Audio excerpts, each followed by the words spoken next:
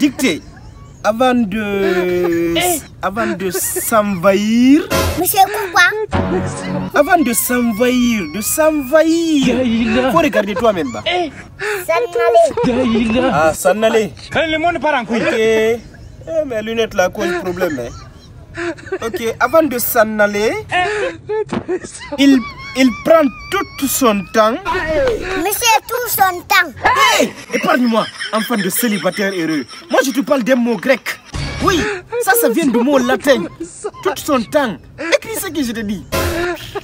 Monsieur le professeur. Merci. Il prend tout son temps avant de...